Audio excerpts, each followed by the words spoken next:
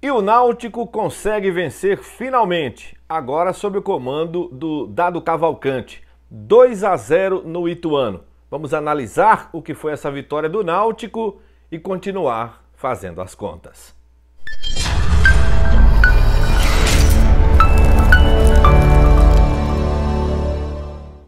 Alô você, seja muito bem-vindo novamente ao nosso canal WA Repórter 100. Chegamos mais uma vez no pós-jogo para analisar a vitória do Náutico. Aleluia, né? Há muito tempo que o Timbu não ganhava uma partida e acabou derrotando esta noite nos aflitos com 9.725 torcedores a equipe do Ituano, que estava tendo a melhor campanha do segundo turno do Campeonato Brasileiro da Série B. O Náutico respira no campeonato precisando de um aproveitamento muito maior do que o Cruzeiro tem. Para vocês terem uma ideia, o Cruzeiro que está nadando de braçada aí no Campeonato Brasileiro da Série B está com aproveitamento de 71%. E para o Náutico escapar, terá que ter um aproveitamento de 75%. Então, para vocês verem a dificuldade. Olha só, para você que está conhecendo o nosso canal agora, seja muito bem-vindo. Se inscreve no nosso canal, compartilha os nossos vídeos, deixa o like que é muito importante e principalmente deixa o um comentário no final o que é que você achou desse comentário, qual a sua opinião sobre a partida onde o Náutico venceu a equipe do Ituano por dois tentos a zero. Bom, gente, o Náutico já chegou num clima pesado nos aflitos, é verdade. É um Náutico super lanterna do campeonato, para vocês terem uma ideia, ganhou hoje e não saiu da lanterna teve faixa na frente da sede, o ônibus foi. É, jogaram meio mundo de ovos, pedras no ônibus do Clube Náutico Caparibe, ou seja, era um clima que já se esperava para uma equipe que não vem rendendo. Não digo nem por culpa dos atuais atletas, porque o muda-muda foi grande, a desorganização no futebol foi maior ainda, a incerteza de treinador, é, as incertezas é, do presidente do clube, que é quem manda em tudo e deixou todo mundo aí meio que baratinado, sem saber o que fazer com tantas trocas e, tantas, e tantos erros em tantas contratações. O Náutico entrou em campo contra o Ituano e eu diria para você, no resumo da ópera, o Ituano teve tudo para ganhar o jogo. O Ituano, eh, quando eu parei de contar, já estava com 16 finalizações e o Náutico com duas. Então, eh, foi um primeiro tempo horrível, um primeiro tempo muito fraco das duas equipes. Mesmo assim, o Náutico teve uma chance, um chute cara a cara que o goleiro defendeu, e a equipe do Ituano chutou duas bolas perigosas para duas defesas do goleiro do Náutico, Jean.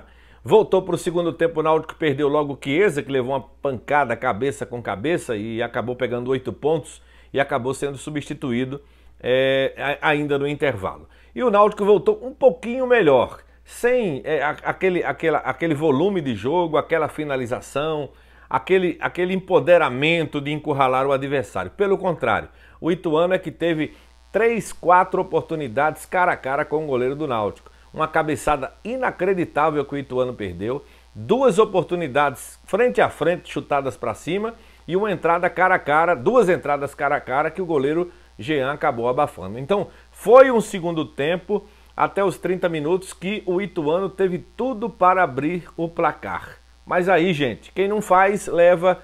É o ditado popular. A equipe do Ituano é, deu um vacilo pelo lado esquerdo de defesa. O Pedro Vitor desceu pela direita e fez o cruzamento. E aí a zaga, que é muito lenta do Ituano, ficou olhando. E o Giovani deu um toquinho de esquerda, fazendo 1 a 0 para a equipe é, do Clube Náutico Capibaribe. Bora ver esse gol? O Souza marcou seu primeiro gol vestindo a camisa do Clube Náutico Capibaribe, bateu no lado direita do goleiro, o goleiro caiu para o lado esquerdo e a bola foi para o fundo do barbante. Então, é, no frigir dos ovos, a gente diz o seguinte: o Náutico melhorou? Acho que muito pouco, muito pouco, porque eu vou desconsiderar se eu dizer, se eu falar para vocês que o Náutico melhorou, eu vou desconsiderar os 4 ou 5 gols que o Ituano perdeu nas lambanças e no festival de passes errados do Náutico. Mas por que o Náutico está errando tanto passe? Porque muda demais. E a gente sabe que a culpa não é do Dado Cavalcante. O Náutico muda demais. É cartão, é isso, é aquilo, é saída de jogador, revolta de jogador. Hoje mesmo jogou sem o Jean Carlos, perdeu o Chiesa para o segundo tempo. Então é um Náutico que, na minha visão, ainda não inspira confiança. Acho que o Náutico venceu, mereceu porque colocou duas bolas para dentro, mas o Ituano teve o jogo na mão para ganhar, principalmente nos 20 primeiros minutos do segundo tempo, onde perdeu um festival de gols. No Twitter eu deixei é, todos os detalhes da partida. O público foi de 9.725. Eu dei nota 5 para o jogo. Muito fraco a partida nos aflitos. A arbitragem, para mim, levou nota 8, acertou em todos os quesitos de faltas, na minha visão. É, o pênalti foi pênalti. É, teve outros lances também. Pediram cartão no lance do Chiesa, que ele machucou a cabeça, mas foi um acidente. E acertadamente o Marcelo de Lima Henrique, que é um dos árbitros mais velhos do Brasil, né? Já passou dos cinquentinha e está apitando num nível bom. Inclusive já apitou aqui no futebol de Pernambuco, com toda certeza. Vamos ver é, a classificação na tela. Dividindo tela, a classificação depois da vitória do Clube Náutico Caparibe. Olha só, o Timbu continua aí, lanterna do campeonato.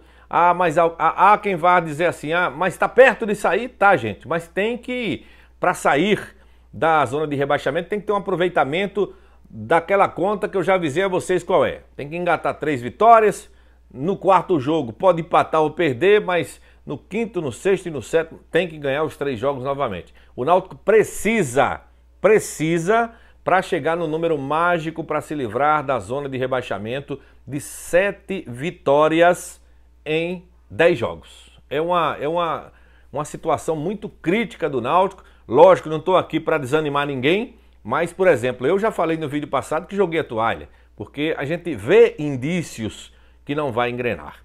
Outro fato que pode ajudar o técnico dado Cavalcante, acabei de lembrar. A tabela do Náutico, os três próximos jogos, dividindo tela, são três jogos espaçados, né? Então o Náutico vai ter a capacidade de trabalhar, de treinar, de principalmente ganhar é, é, a cara do técnico dado Cavalcante, o Timbu, nesses três próximos jogos. Então o Brusque, né? O Brusque na sexta-feira, dia 9, tem o, o, Vasco da Gama fora, que esse daí não conta na minha visão, acho que o Vasco vai levar a vitória.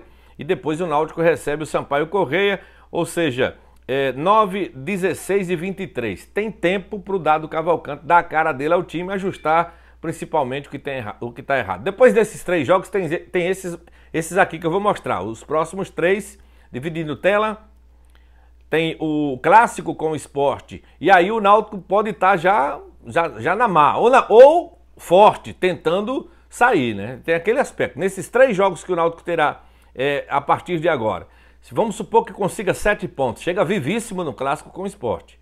Se não conseguir, se conseguir, por exemplo, é, um empate e duas derrotas, ou, dois empates, aí a conta vai estar tá muito difícil, mais ainda para o Náutico.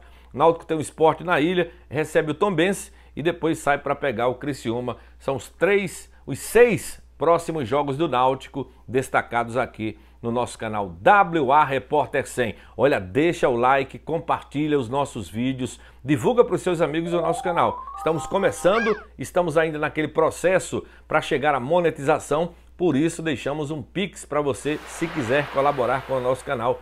Qualquer valor será bem-vindo. Portanto, foi assim que eu vi Náutico 2 Ituano 0. O Náutico respira, porém continua na UTI. Grande abraço e até o próximo vídeo.